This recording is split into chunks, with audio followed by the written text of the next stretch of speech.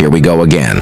Manchester United's Europa League journey for the 2024-25 season begins this evening with a match against FC Twente from the Netherlands at Old Trafford. Although United couldn't secure a win in their last match against Crystal Palace, the team has returned to action positively after the September international break. Strong victories over Southampton and Barnsley have lifted the mood, with several key players returning from injury. Rasmus Højlund recently regained fitness and came on as a substitute in the Crystal Palace game, while Mason Mount was also available on the bench. Both Højlund and Mount could be in line to start tonight as manager Erik Ten Hag prepares to face FC Twente, the club he represented over 200 times during his playing career. In addition, defender Victor Lindelof has returned to training, making him another option for the match. Tyrell Malacia also took part in recent warm-ups, showing progress in his recovery. Malacia is one of three left-backs named in United's Europa League squad, alongside Luke Shaw, who is still recovering from a calf injury, and 17-year-old Harry Amass, a rising talent at the club. Four of United's summer signings are expected to make their Europa League debuts soon. However, Leny Yoro is still working on his recovery from a foot injury sustained during the preseason tour, which required surgery. The young French defender is part of the squad for the Europa League's new format, which consists of eight matches running until January. With Erik Ten Hag's experience and knowledge of FC Twente, having played there across three spells, he will understand the challenges the Dutch side could pose. Twente is known for their attacking style, and they will look to test United's defense early on. United's backline, possibly boosted by the return of Lindelof and Malacia, will need to stay alert to avoid any surprises from their energetic opponents. On the attacking front, the return of key players like Højlund and Mount offers United greater firepower. Højlund's speed and strength could be crucial in breaking down Twente's defense, while Mount's creativity in midfield will help control the tempo of the game. United fans will be eager to see how these returning players integrate as the team looks to start their European campaign on a high note at Old Trafford. A win would not only boost confidence, but also set the tone for a busy and competitive season ahead. Meanwhile, yesterday, young defender Leny Yoro shared his thoughts on Manchester United, revealing he was surprised by the club's size and atmosphere. Manchester United as a club is bigger than I expected. I don't know if I was expecting this, Yoro said. He went on to praise the passionate fans and the iconic Old Trafford Stadium, saying, Fans, the stadium, everything is good. Yoro's comments highlight the global appeal and influence of Manchester United, especially to players who are still discovering the club's rich history and strong support. It's clear that the atmosphere at Manchester United has made a big impression on the young player. In other news, Noussair Mazraoui recently shared the reasons behind his move to Manchester United from Bayern Munich. The Moroccan right-back felt it was time for a change. Although he was comfortable at Bayern, he believed he could feel even better at a new club. When Manchester United showed interest, Mazraoui didn't hesitate. He said that there's no need to explain why he chose to join such a big club. For him, United offers a fresh challenge, and he's excited to prove himself in the Premier League. Mazraoui's arrival is expected to strengthen United's defense, and fans are eager to see how he performs in the coming matches. In other news, Manchester United reveal first look at potential Old Trafford regeneration. Manchester United have shared the first images of a potential redevelopment plan for Old Trafford. Last month, reports suggested that the club is considering building a brand new 100,000-seat stadium. This project could cost around 2 billion pounds. Experts believe that if this plan goes ahead, it could bring a huge economic boost, adding about 7.3 billions of pounds each year to the United Kingdom economy. The idea of a completely new stadium is being seriously considered over renovating the current Old Trafford. Fans are excited to see what the future holds for the iconic ground. The final decision has not been made yet, but these plans show that Manchester United is aiming for something big. According to The Sun and Sky Sports, the club is heavily leaning towards building the new stadium rather than upgrading Old Trafford.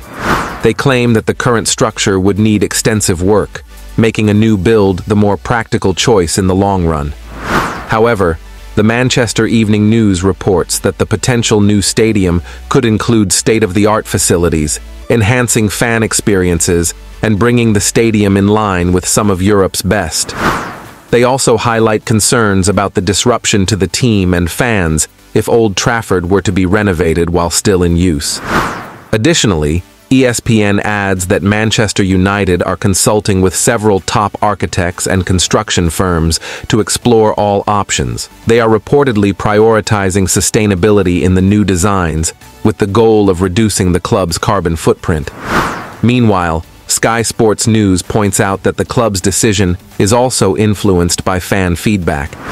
Manchester United supporters are keen to maintain the historical importance of Old Trafford, and while a new stadium could offer modern amenities, many fans still feel a deep connection to the current ground.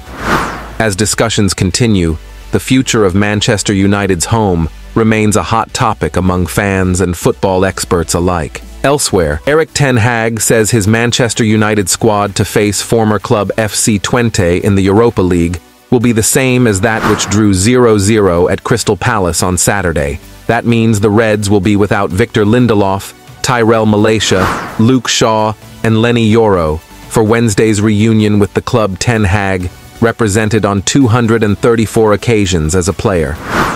While Lindelof and Malacia have resumed some work at Carrington over the past week, and Yoro is a longer-term concern, there has been little update on Shaw in recent weeks. Luke hasn't played for United since 18 February, with his 2023-24 domestic season curtailed by injury and a calf problem keeping him on the sidelines so far this term. The boss was asked about the England left back after sharing the news about having an unchanged squad, and he replied that he hoped to see Luke back in action before October's international break.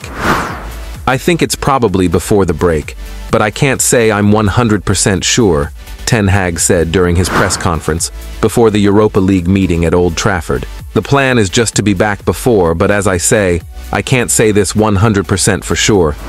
It could also be shortly after the break. After Twente's visit to Old Trafford, we host Tottenham Hotspur in the Premier League this Sunday. There's another European fixture on the calendar to start October, with United in Portugal to play FC Porto before we travel to Aston Villa ahead of the next set of national team fixtures. Meanwhile, Manchester United continue their pursuit of a young left-back to strengthen the squad, with the January transfer window approaching fast. Among the profiles explored is Bournemouth's highly rated Milos Kerkez, a young Hungarian defender who caught United's eye. However, securing his services will not come easy, as Bournemouth have set a high price tag for the 19-year-old.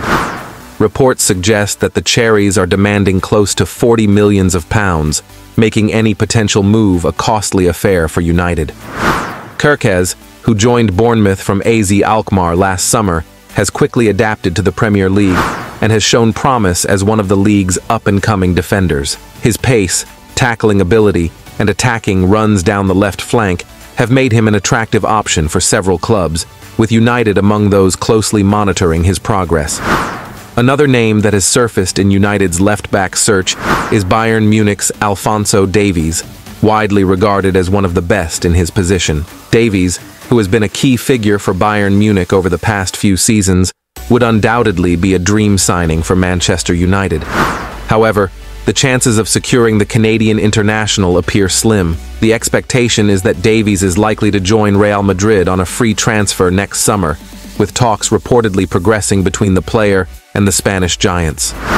For United, the left-back position has been a challenging area in recent times, with Luke Shaw sidelined due to injury and Tyrell Malacia also struggling with fitness issues, the Red Devils have been forced to look for reinforcements.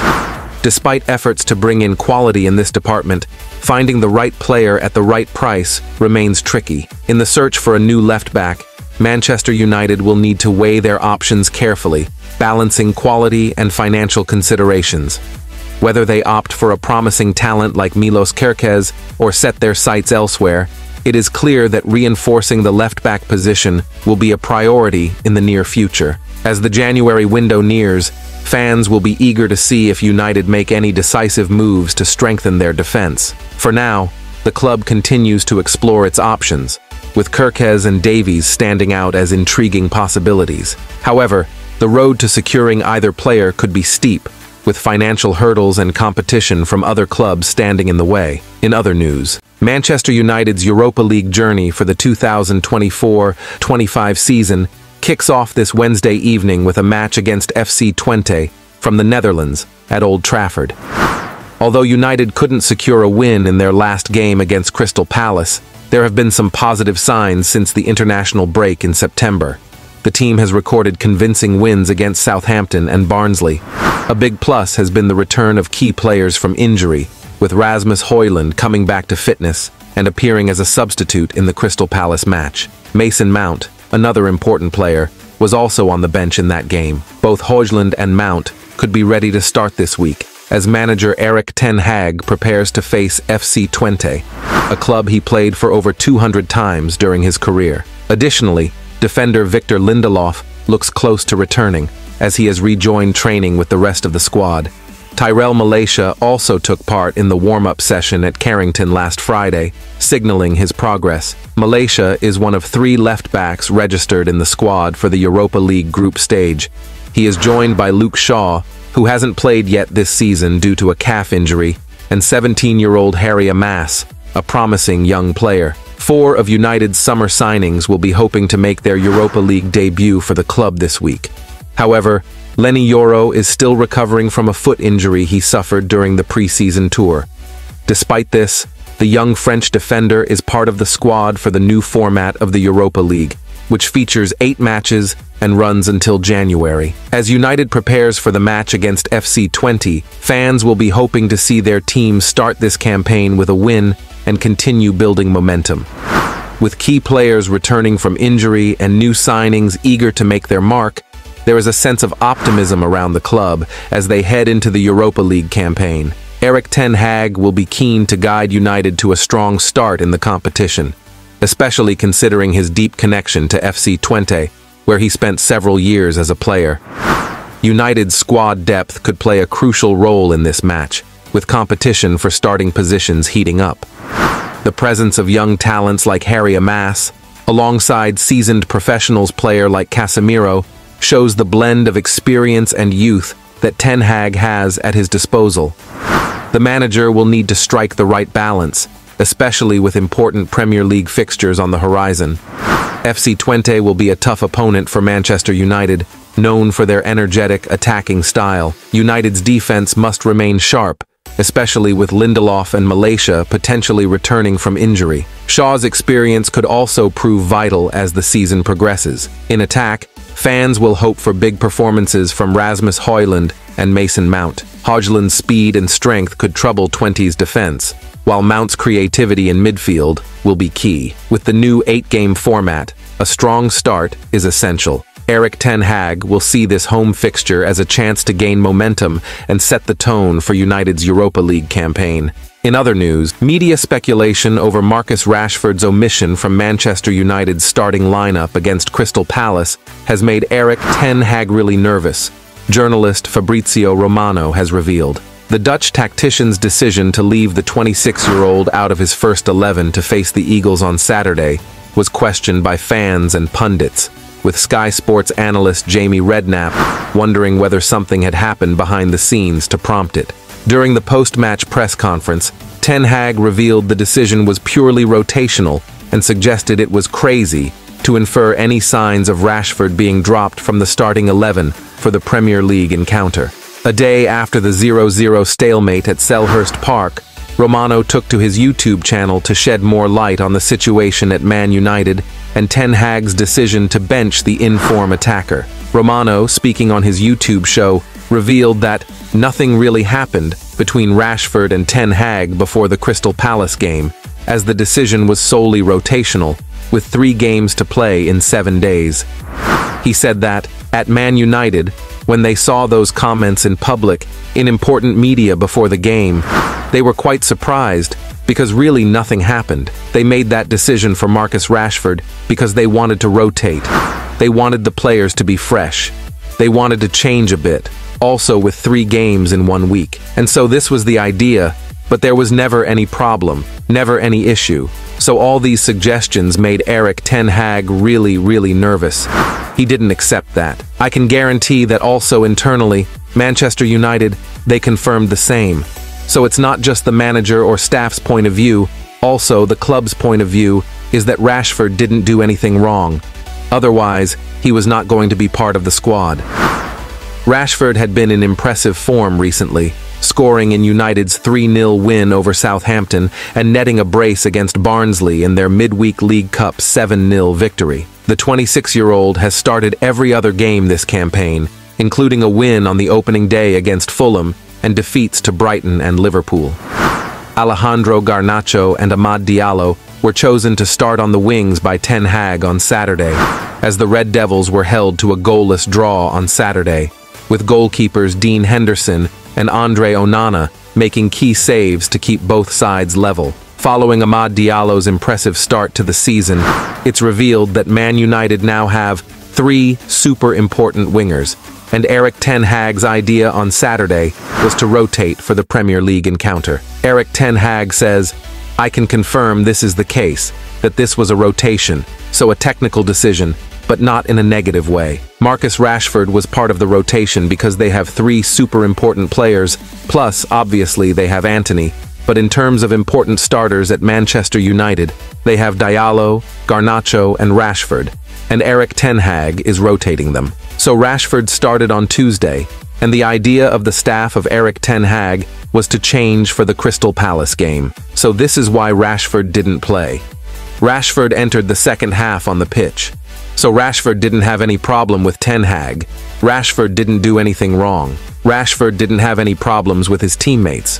Rashford didn't have any problem with the staff. Fan favorite Diallo has started the season in fine form, playing in all seven of United's games so far and scoring once in the Premier League in 338 minutes of action. The Ivorian winger was not given many opportunities last season and was rarely seen in the starting 11, before netting a memorable winner against Liverpool in the FA Cup quarter-final and producing strong performances towards the end of the campaign prompting Ten Hag to keep faith in him at the start of this term. According to a report from the Manchester Evening News, United are now expected to offer a new long-term contract to Diallo in the coming months, as he has less than 12 months left on his current deal. Meanwhile, Manchester United is leading a massive project to regenerate Trafford Park, with plans to build a new 100,000-seater stadium at its center. According to a report by Oxford Economics, this ambitious plan could add 7.3 billions of pounds a year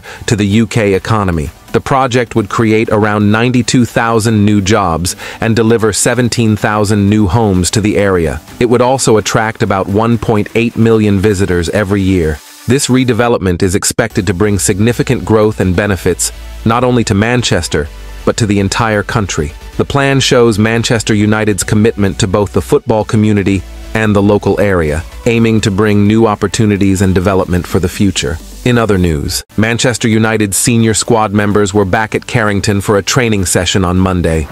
Key players like Casemiro, Bruno Fernandes, Marcus Rashford, Harry Maguire, Diogo Dalot, Lisandro Martinez, Jonny Evans, and Christian Eriksen took part as they prepared for their upcoming Europa League match against FC Twente on Wednesday. Alongside the senior stars, young talents such as Kobbie Mainoo, Alejandro Garnacho, Amad Diallo, and Toby Collyer also joined the training. This mix of experienced and young players worked together under the watchful eye of the coaching staff.